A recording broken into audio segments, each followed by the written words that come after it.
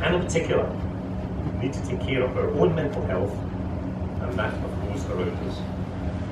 As I said, these are pressing issues for all of us, and they are particularly important for the young people in our communities. When I feel like the world is drowning in hate and injustice, just witnessing one little act of kindness can make the darkness crumble away. And once more, I can see light shining through the clouds. And once more, there's hope. Inspiration floating, no style, strictly roots out of sculpture. Pillar beacon, fragile, bend of brick, which ways up. Planetary wrapping over cracks, never make not planned yet. Stop carbon nightmare, sucking it in. Every ream in space unclogs your mind, your lungs, high wire dexterity, cloud surfing in mild skies, high stone altar jokes, needles on point.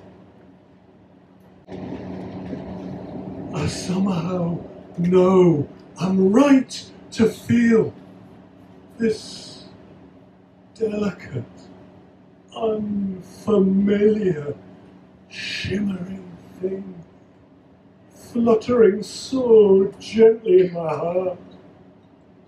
This so fragile thing we have almost all forgotten. This exquisite, evanescent, beautiful thing called hope.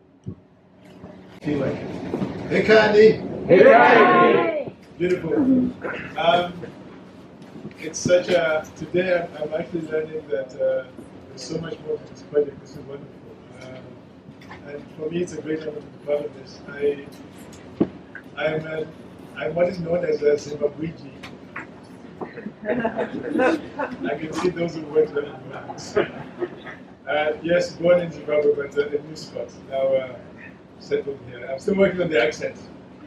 So, uh, as someone who has three languages, uh, two by birth and one through learning, I, I, uh, I have two pieces. I, I did stay within the word limit, so I've got two short pieces for you. One of them is in English, of course, and the other one is in my mother language, Shona, which I will finish off with. And uh, I have to emulate the young uh, poets. I want us to give them another big hand.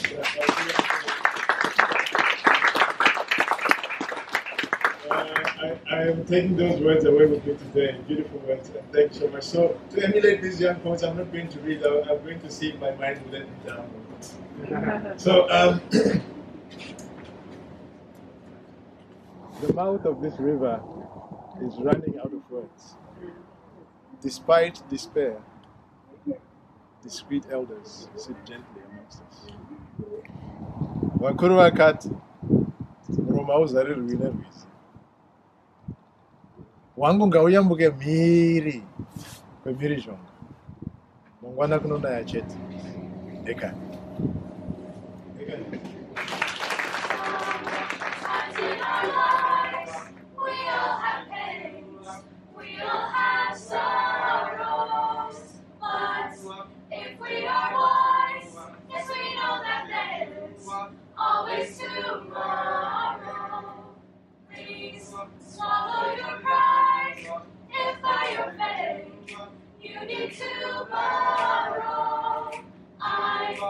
rise up the road and I'll share your load.